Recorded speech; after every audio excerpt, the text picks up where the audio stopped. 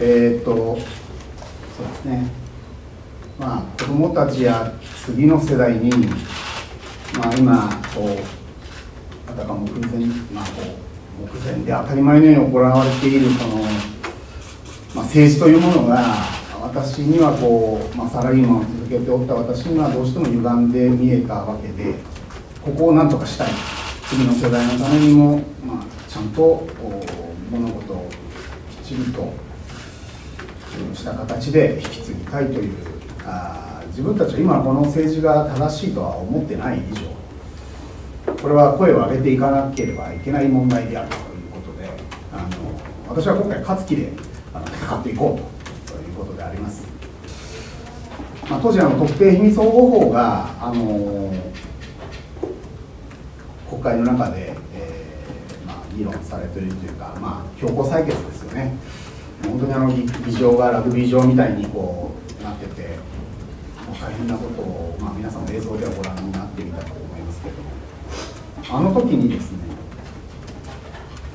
まだ子供はそうですねえっ、ー、と小学校低学年というかまだ6年かのそのぐらいの時だったんです。あのまあ、なんせねその子どもたちをやっぱりその戦争の匂いがするところに近づけたくなかったという思いでそのまま、うん、放っておいたらますます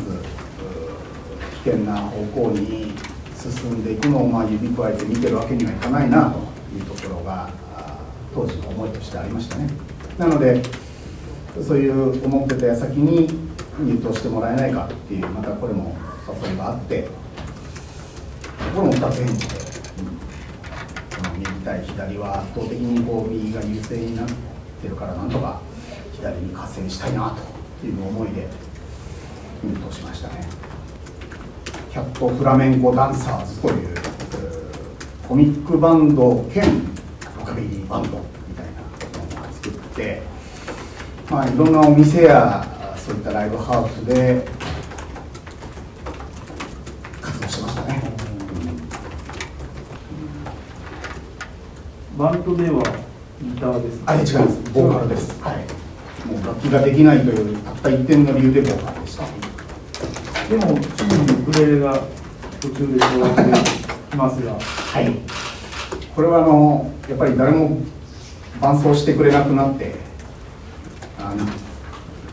自分で弾くしかないってなった時にギターがなかなか難しくてですねじゃあ6弦じゃなしに4弦のウクレレならと思ってやってみたらこれが非常にあの面白くて奥も深くていまあ、未だに極めても当然ないわけなんですが、まあ、一人でやる分には本当にあのいい楽器だなと思いますね。